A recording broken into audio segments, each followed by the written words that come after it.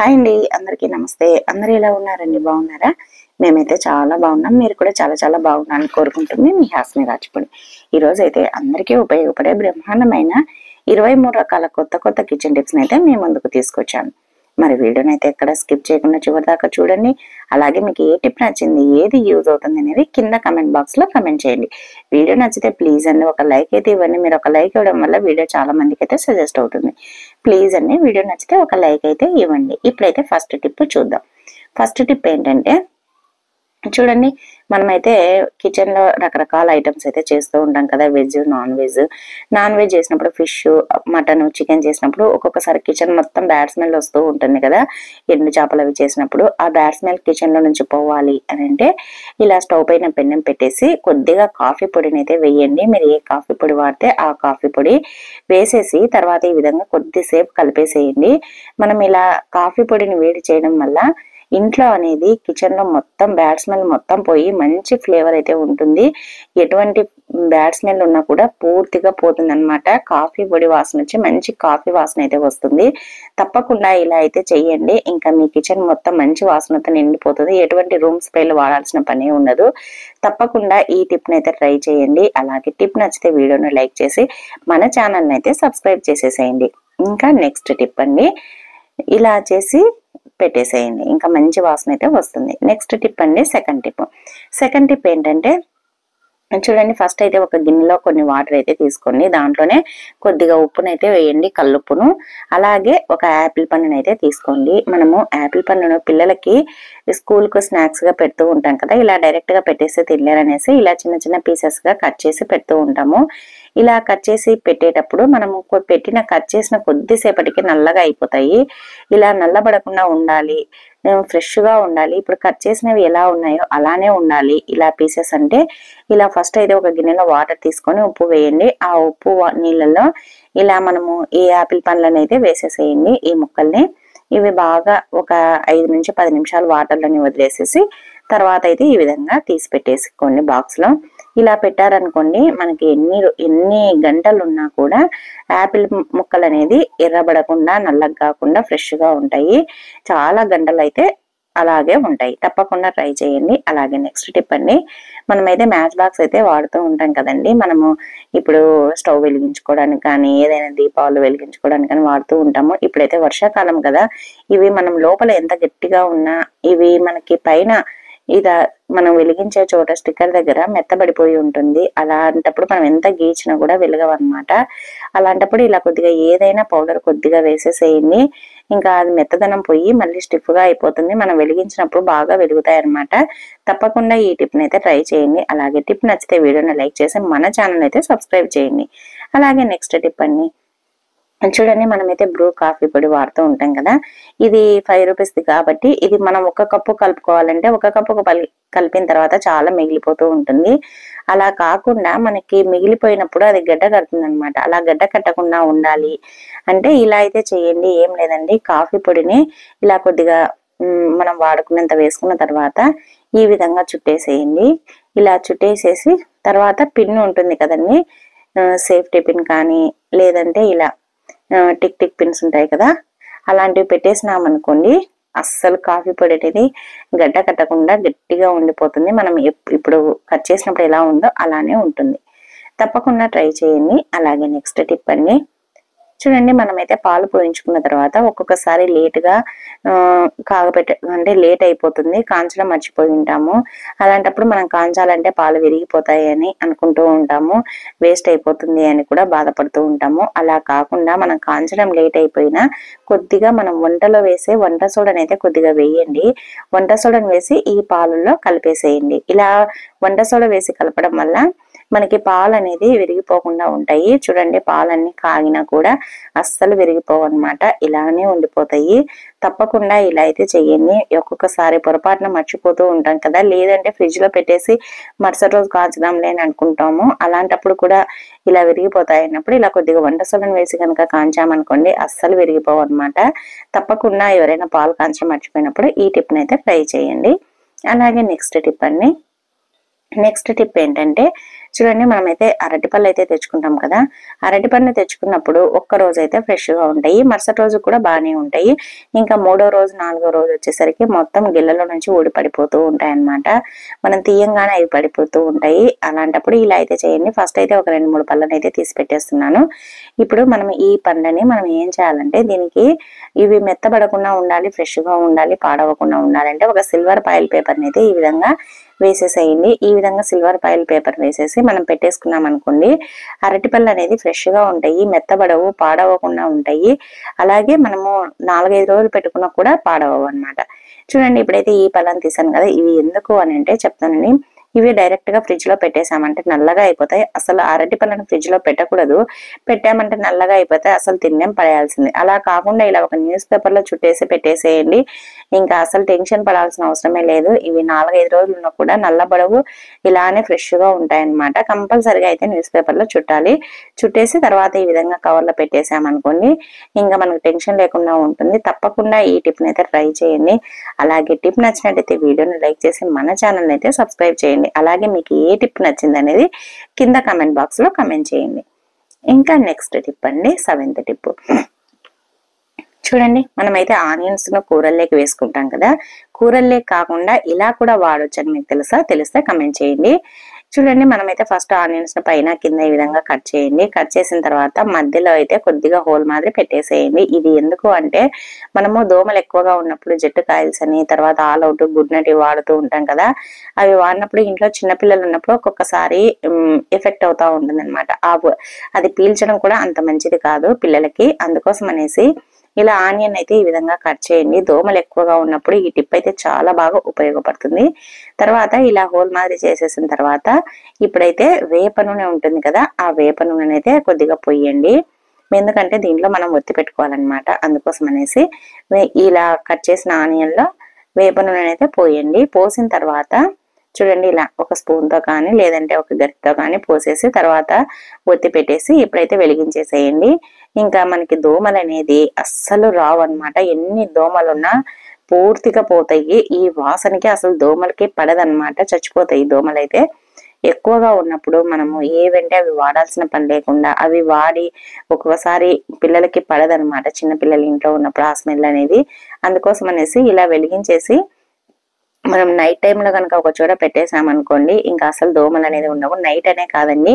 Day టైంలోనైనా ఎక్కువగా దోమలు ఉన్నప్పుడు ఇలా అయితే వెలిగించేసి పెట్టేసేయండి. ఈ వాసన ఈ వాసన అనేది అస్సలు దోమలకు పడదనమాట అందుకోసమని మనం డే టైంలోనైనా నైట్ టైంలోనైనా దోమలు ఎక్కువగా ఉన్నప్పుడు ఇలా ఆనియన్లో దీపం పెట్టేసి పెట్టేసేయండి. ఇంకా అసలు దోమలు అనేది లేకుండా పోతాయి. ఎటువంటి కాయిల్స్ వాడాల్సిన పని ఉండదు. తప్పకుండా ట్రై చేయండి. అలాగే టిప్ నచ్చితే వీడియోను లైక్ చేసి మన ఛానల్ అయితే సబ్స్క్రైబ్ చేయండి. అలాగే నెక్స్ట్ టిప్ అండి. నెక్స్ట్ టిప్ ఏంటంటే ఒక్కొక్కసారి మనకి కాళ్ళు అనేది తిమ్మిరెక్కినట్లుగా కాళ్ళు అనేది తిమ్మిరెక్కిపోయి అంత మొద్దుబారిపోయినట్లుగా అలా అనిపిస్తూ ఉంటుంది కదా. అలాంటప్పుడు ఈ విధంగా మనం చపాతీ కర్ర ఏదైనా వాడని ఉంటుంది కదా ఆ చపాతీ కర్ర పైన ఇలా కొద్దిగా మసాజ్ చేసినట్లుగా అటు ఇటు ఇలా అన్నామనుకోండి మనకి కాళ్ళు పట్టుకొని పోయినా అలాగే తిమ్మిర్లు ఎక్కినట్టయినా లేదు అని అంటే కాళ్ళు సచ్చిబడినట్టు ఉన్నా ఇలా చేసామనుకోండి మనకు సర్క్యులేషన్ బాగా జరిగి బ్లడ్ సర్క్యులేషన్ మనకి కాళ్ళు అనేది ఫ్రీగా అయిపోతాయి అన్నమాట తప్పకుండా చేతులైనా కాళ్ళనైనా ఈ విధంగా చేయండి. అలాగే నెక్స్ట్ టిప్ అండి నైన్త్ టిప్ నైన్త్ టిప్ ఏంటంటే మనమైతే సోప్స్ అయితే వాడుతూ ఉంటాం కదా రకరకాల సోప్స్ మనం ఆ సోపుల్ని మనము వాడిన తర్వాత ఇలా బాక్స్ అయితే ఉండిపోతుంది కదా దాన్ని వేస్ట్గా పడేయకుండా ఈ విధంగా ఒక బాక్స్ని అయితే తీసేసుకోండి. తర్వాత దాంట్లో రెండు కర్పూరం బిళ్ళలు అయితే ఇలా స్మాచ్ చేసి వేయండి. కర్పూరం బిళ్ళలు వేసిన తర్వాత అలాగే నాఫ్తలిన్ బాల్ ఉంటుంది కదా అది ఒకటి కానీ రెండు కానీ మీ ఇష్టము. మీకు ఎక్కువ స్మెల్ కావాలి అని అంటే రెండు వేసుకోండి. తక్కువ ఫ్లేవర్ ఉండాలి తక్కువ స్మెల్ ఉండాలి. కొద్ది మందికి ఎక్కువ స్మెల్ ఉన్నా పడదు కదా అలాంటప్పుడు ఒక్కటే వేయండి ఇలా. నాఫ్తలిన్ బాల్ వేసేసి తర్వాత ఇంకా ఇప్పుడైతే ఇలా చూడండి వీడియోలో చూపిస్తున్నట్లుగా దీనికైతే అక్కడక్కడ హోల్స్ పెట్టాలన్నమాట. ఎందుకంటే ఇది ఫ్లేవర్ అనేది మనకి బయటికి వస్తూ ఉండాలి కాబట్టి ఇలా మైల్డ్గా వచ్చేటట్టుగా ఇలా అయితే కొద్దిగా ఏదైనా మేకు కానీ అలా తీసుకొని ఇలా అయితే హోల్ పెట్టేసేయండి అక్కడక్కడ. హోల్స్ పెట్టేసి మనం కబోర్డ్లు కానీ బీరువాలు కానీ పెట్టేసామంటే ఈ వర్షాకాలంలో బట్టల నుంచి వచ్చే స్మెల్ అనేది రాకుండా ఉంటుంది ఫ్రెష్గా ఉంటాయి. బ్యాడ్ స్మెల్ లేకుండా ముక్కిన వాసన లేకుండా ఉంటాయి. తప్పకుండా ట్రై చేయండి. అలాగే నెక్స్ట్ టిప్ అండి. నెక్స్ట్ టిప్ ఏంటంటే చూడండి మనమైతే పాలు కాంచిన తర్వాత ఈ గిన్నెనైతే ఇంకా ఇలా కొద్దిగా ఒక చుక్క పాలున్నా కూడా మనం ఇంకా పడేస్తూ ఉంటాం కదా. అవి పడేయకుండా ఇలా అయితే చేసి చూడండి. చాలా అద్భుతంగా ఆశ్చర్యంగా ఆశ్చర్యపోతారు. ఫస్ట్ అయితే ఆ పాలలో ఒక టేబుల్ స్పూన్ అంత గోధుమ పిండి వేయండి. అలాగే చిటికెడంత పసుపును వేయండి. వేసేసి బాగా కలపండి. ఎందుకు అని అంటే మనకి పాలులో మీగడ అదంతా ఉంటుంది కదా. అందుకోసం అనేసి ఇలా పసుపు తర్వాత గోధుమ పిండి అలాగే పాలలో వేసి కలిపేసి వీలైతే రోజ్ వాటర్ అంటే రోజ్ వాటర్ కూడా వేసేసి దీన్ని మన ఫేస్ కనుక అప్లై అనుకోండి ఫేస్ అనేది చాలా స్మూత్గా షైనీగా అవుతుంది అనమాట దీంట్లో పాల మీగడ అందుంది కాబట్టి చాలా స్మూత్గా అయిపోతుంది. అలాగే గోధుమ పిండి అనేది మంచి స్క్రబ్బర్ మాదిరి పనిచేస్తుంది. అలాగే పసుపు వేయడం వల్ల మన ఫేస్ అనేది చాలా గ్లోగా వస్తుంది అనమాట మనము గోల్డ్ ఫేషియల్ చేయించుకుంటే ఎలా వస్తుందో అలా అయితే ఉంటుంది. తప్పకుండా ఇలా అయితే చేసి చూడండి. ఇలా బాగా మసాజ్ చేసి తర్వాత ఒక ఇరవై నిమిషాలు వదిలేసేసి తర్వాత మనం ఫేస్ వాష్ చేసుకున్నాం అనుకోండి చాలా గ్లోగా వస్తుంది. కావాలంటే మీరే ట్రై చేసి చూడండి. వీక్లీలో ఒక టూ టైమ్స్ ఇలా చేశారనుకోండి చాలా గ్లోగా ఉంటుంది. తప్పకుండా ట్రై చేయండి. అలాగే నెక్స్ట్ టిప్ అండి. నెక్స్ట్ టిప్ ఏంటంటే చూడండి మనమైతే ఆనియన్స్ అయితే కట్ చేస్తూ ఉంటాం కదా. మనం ఆనియన్స్ కట్ చేసేటప్పుడు ఎవరైనా బంధువులు వచ్చినా ఇంకా ఎవరైనా ఫ్రెండ్స్ కానీ వచ్చినా నీళ్ళు ఇవ్వాలనుకోండి నీళ్ళు కానీ టీ కానీ మనం ఎంత నీట్గా సోప్తో కడిగినా కూడా ఈ ఆనియన్ స్మెల్ అనేది అస్సలు పోదనమాట అదే స్మెల్ వస్తూనే ఉంటుంది. అలా స్మెల్ రాకుండా ఉండాలి. మనకి హ్యాండ్స్ రాకుండా స్మెల్ రాకుండా ఉండాలి. మనం టీ పెట్టించిన కాఫీ కల్పించిన నీళ్ళు ఇచ్చినా కూడా అంటే మనం ఆనియన్స్ని కట్ చేసేటప్పుడైనా కట్ చేసిన తర్వాతనైనా మనము మన ఇంట్లో టీ పొడి ఉంటుంది కదా లేదు అని అంటే మనం టీ చేసిన తర్వాత ఆ జాలి గంటలో ఉండే టీ పొడినైనా తీసుకోండి వేస్ట్గా ఉండేది. లేదంటే ఇలా కొద్దిగా టీ పొడినైనా సరే చేతుల్లో వేసుకొని ఇలా రుద్దేసి మనం కనుక చేతులు కడిగేసుకున్నాం అనుకోండి అసలు ఆనియన్స్ స్మెల్ అనేది ఉండనే ఉండదు. ఫ్రెష్గా ఉంటుంది. తప్పకుండా ఈ టిప్ని అయితే ట్రై చేయండి. అలాగే నెక్స్ట్ టిప్ అండి ట్వెల్త్ టిప్. ఫస్ట్ అయితే ఒక చిన్న బౌల్ అయితే తీసుకోండి. దీంట్లోనే కొద్దిగా వంట సోడాని అయితే వేయండి. ఇలా వీడియోలో చూపిస్తున్నట్లుగా కొద్దిగా వంట సోడాను వేసేసి అలాగే కొద్దిగా పసుపుని అయితే వేయండి. ఇది ఎందుకు పనికి వస్తుంది అంటే చెప్తానండి. మన ఇంట్లో ఎక్కువగా చీమలు తిరుగుతూ ఉంటాయి కదా చీమలు అలాగే మనము ఏదైనా చెదలు ఒక్కొక్కసారి ఏదైనా అట్ట డబ్బాలు అలా పెట్టినప్పుడు చెదలు కూడా వస్తూ ఉంటాయి. లేదు అని అంటే ఇలా చూడండి ఇలా గుమ్మాల దగ్గర ఇలా డోర్లకు కూడా ఒక్కొక్కసారి గుమ్మానికి అందు చెదలు పడుతూ ఉంటుంది. అలాంటప్పుడు ఇలా వంట సోడా పసుపును కనుక కలిపేసి వేసామనుకోండి చీమలు రావు అలాగే ఏదైనా చెదలు ఉన్నా కూడా పోతాయన్నమాట. ఇది చాలా బాగా ఉపయోగపడుతుంది. ఇలా హోల్స్ ఉంటాయి కదండి దానిలోకి ఏదైనా పురుగులు కూడా పోతూ ఉంటాయి అలాగే చెదలు కూడా పడుతూ ఉంటాయి అన్నమాట అలాంటప్పుడు ఇలా వంట సోడా పసుపును కనుక వేసామనుకోండి ఈ స్మెల్ అనేది పడదు. చీమలైనా ఇవి తిన్నామంటే కడుపు ఉబ్బిపోయి చనిపోతాయి అన్నమాట అందుకోసమని ఇది వేసామనుకోండి ఆ స్మెల్కు ఆ దరిదాపులకు కూడా రావు. తప్పకుండా ఈ టిప్ని అయితే ట్రై చేయండి. టిప్ నచ్చితే వీడియోని లైక్ చేయండి. అలాగే నెక్స్ట్ టిప్ అండి. నెక్స్ట్ టిప్ ఏంటంటే చూడండి మన ఇంట్లో జవాద్ పౌడర్ అయితే ఉంటుంది కదా మనము ఇది ఎందుకు ఉపయోగపడుతుంది అంటే ఇది పూజకు మాత్రమే కాకుండా ఇంకా చాలా రకాలుగా ఉపయోగపడుతుంది. ఇప్పుడు మనం ఎక్కడికైనా బయటికి వెళ్ళేటప్పుడు మామూలుగా బాడీ స్ప్రేలు అవి వేసుకుంటూ ఉంటారు కదండి. పిల్లలైనా పెద్దలైనా ఎవరైనా సరే స్మెల్ రావడానికని కొద్దిగా బ్యాడ్ స్మెల్ అలా వస్తూ ఉంటాయి ఇలా స్మెల్ రావడానికని బాడీ స్ప్రేలు వాడుతూ ఉంటారు. అలా వాడాల్సిన అవసరం లేకుండా ఎక్కువ డబ్బులు ఖర్చు పెట్టాల్సిన అవసరం లేకుండా చిటికెడంత జవాదు పౌడర్ని మనకి ఎక్కడైనా చెవు దగ్గర కానీ నెక్ కానీ అలా కొద్ది గనుక అప్లై చేసామనుకోండి ఇంకా ఆ రోజంతా మంచి స్మెల్ వస్తుందన్నమాట. బ్యాడ్ స్మెల్ అనేది ఉండదు. చాలా మంది దగ్గర చెమట వాసన వస్తూ ఉంటుంది కదా అలా కూడా ఉండదు. తప్పకుండా ఇలా అయితే చేసి చూడండి. ఇంకా నెక్స్ట్ టిప్ అండి. నెక్స్ట్ టిప్ ఏంటంటే చూడండి ఫస్ట్ అయితే ఒక ఆనియన్ అయితే తీసుకోండి. ఆనియన్ తీసుకొని దీన్ని అయితే చూడండి ఇలా ఇలా అయితే కట్ చేయండి. ఇలా కట్ చేసిన తర్వాత మనము ఇది కూరలేక అయితే ఒకటి రెండు కట్ చేస్తాము. మనం ఎప్పుడైనా బిర్యానీలు అవి చేసుకోవాలి పకోడీ చేసుకోవాలి ఆనియన్ పకోడీ అని అంటే ఎక్కువ కట్ చేయాలన్నప్పుడు ఇలా పీలర్తో అయితే పల్చగా ఈజీగా వస్తాయన్నమాట. కానీ ఇలా పీలర్తో కట్ చేయడం చాలా లేట్ ప్రాసెస్. చాలా ఫాస్ట్గా గా కట్ చేయాలి అని అంటే చూడండి ఇలా మన ఇంట్లో చిప్స్ కట్ చేసే కట్టర్ ఉంటుంది కదా దానిపైన అయితే ఇలా చిప్స్ కట్ చేసినట్టుగా ఇలా తురిమినట్టుగా అనేసేయండి ఇంకా ఎన్ని కిలోల ఆనియన్స్ అయినా కూడా మనం ఈజీగా కట్ చేసుకోవచ్చు. అలాగే ఇది పల్చగా వస్తాయి కాబట్టి మనకి బిర్యానీలోకి వేయించడానికి కూడా చాలా బాగుంటుంది అనమాట బిర్యానీలో వేయించడానికి కూడా మనకి ఈజీగా అవుతుంది. ప్రాసెస్ అనేది తొందరగా అయిపోతుంది. పల్చగా ఉన్నాయి కాబట్టి తొందరగా వేగిపోతాయి. మనకి గ్యాస్ సేవ్ అవుతుంది. అలాగే మనకి మనీ కూడా సేవ్ అవుతుంది. అలాగే మనకి తొందరగా ఫాస్ట్గా అయితే టైం సేవ్ అవుతుంది. ఇలా అయితే కట్ చేసుకున్నాం అనుకోండి పకోడికైనా లేదంటే ఏదైనా బజ్జీల్లోకి బోండాలకి తినాలన్నా కూడా చాలా బాగుంటాయి. తప్పకుండా ట్రై చేయండి. అలాగే టిప్ నచ్చితే వీడియోని లైక్ చేసి మన ఛానల్ అయితే సబ్స్క్రైబ్ చేయండి. ఇంకా నెక్స్ట్ టిప్ అండి ఫిఫ్త్ అండ్ టిప్. చూడండి మనమైతే జీలకర్ర కానీ ధనియాలు కానీ ఏదైనా సరే ఇలా చిన్న ప్యాకెట్లు తెచ్చుకున్నప్పుడు మనం వాడుకోవడానికని కట్ చేసుకుంటూ ఉంటాం కదా. మనం కట్ చేసిన తర్వాత ఇది చూడండి ఇలా మనము రబ్బర్ బ్యాండ్ ఏది క్లిప్పులు వాడాల్సిన అవసరం లేకుండా దీంతోనే మళ్ళీ మనం ప్యాక్ చేయొచ్చు అనమాట ఇది మనం పోసుకోవడానికి ఒక్కొక్కసారి మన దగ్గర డబ్బా లేనప్పుడు ఫస్ట్ అయితే ఇలా వీడియోలో చూపిస్తున్నట్లుగా ఇలా అయితే చుట్టేసేయండి. ఇలా చుట్టేసిన తర్వాత చూడండి ఇప్పుడైతే దీనికి ఇలా అదే మనం కట్ చేసిన కవర్ని ఈ విధంగా తొడిగేసేయండి. ఇలా వేసామనుకోండి ఇంకా టెన్షన్ అనేది ఉండదన్నమాట మనకు అసలు ఇది పడిపోతుంది అని టెన్షన్ ఉండదు స్మెల్ పోతుందని ఉండదు అలాగే పురుగు పడుతుందని ఉండదు అలాగే మనకి ఇలా డబ్బాలో పోసుకోవాలని కూడా ఉండదు. ఇలానే సీల్ చేసినట్టుగా అయిపోతుంది. తప్పకుండా ట్రై చేయండి. ఇంకా నెక్స్ట్ టిప్ అండి. చూడండి మనమైతే మసూర్ దాల్ అయితే తెచ్చుకుంటాం కదా అదేనండి ఎర్ర కందిపప్పు ఇది కొద్దిగా కాస్ట్ ఎక్కువనే అదే అదే విధంగా మన హెల్త్ కూడా చాలా మంచిదన్నమాట. కానీ ఇది తొందరగా పురుగు పడుతుంది. ఇది తొందరగా పురుగు పడుతుంది కాబట్టి మనము దీన్ని పురుగు పట్టకుండా ఉండాలి. ఎక్కువ రోజులు స్టోర్ చేసుకోవాలి అని అంటే ఇలా వీడియోలో చూపిస్తున్నట్లుగా ఎండు మిరపకాయలు ఉంటాయి కదా అవి అయితే ఇలా తొడిమెలు తీసేసి ఈ మనకి మసూర్ దాళ్ళు అయితే ఈ విధంగా విత్తనాలు కూడా పడేటట్టుగా వేసేసేయండి. ఇలా వేసామనుకోండి ఇంకా ఎన్ని రోజులున్నా పురుగు పట్టవు అలాగే ఫ్రెష్గా ఉంటాయి పాడవకుండా ఉంటాయి.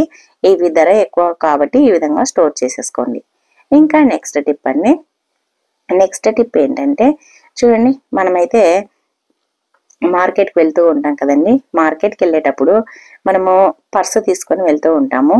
మనం పర్సు తీసుకొని వెళ్ళాలి అని అంటే చూడండి మనము చేతితో హ్యాండ్ బ్యాగ్ పట్టుకోవాలన్నా తలిగించుకోవాలన్నా లేదంటే పర్సు పట్టుకోవాలన్నా పడిపోతుందని టెన్షన్ ఉంటుంది.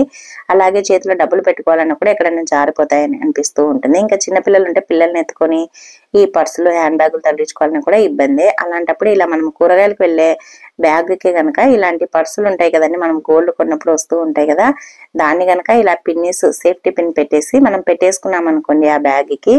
ఇంకా టెన్షన్ అనేది అవసరం లేదనమాట. మన దగ్గర డబ్బులు ఉన్న చిల్లర ఉన్నా ఏది ఉన్నా దీంట్లో పెట్టేసుకోవచ్చు. ఈజీగా ఉంటుంది. మనం కావాలన్నప్పుడు ఎక్కడ మార్కెట్లో కూరగాయలు వేపించుకున్నా అక్కడ ఇవ్వడానికి ఈజీగా ఉంటుంది తీయడానికి ఈజీగా ఉంటుంది. పడిపోతుంది జారిపోతుంది అనే టెన్షన్ ఉండదు అనమాట ఎందుకంటే దాంట్లోనే పర్సు ఉండిపోతుంది కాబట్టి ఇంకా టెన్షన్ లేకుండా మనం ప్రతిసారి బ్యాగ్ తెరచాల్సిన అవసరం లేకుండా హ్యాండ్ బ్యాగ్ అలాంటివి తీయాల్సిన అవసరం లేకుండా ఉంటుంది అనమాట చిన్న పిల్లలు ఉన్న టెన్షన్ లేకుండా మనం మార్కెట్కి అయితే వెళ్ళి రావచ్చు. తప్పకుండా ఈ టిప్ని అయితే ట్రై చేయండి. మరీ ముఖ్యంగా చిన్నపిల్లలు ఉండే వాళ్ళకి ఇది చాలా బాగా ఉపయోగపడుతుంది. ఇంకా నెక్స్ట్ టిప్ అండి.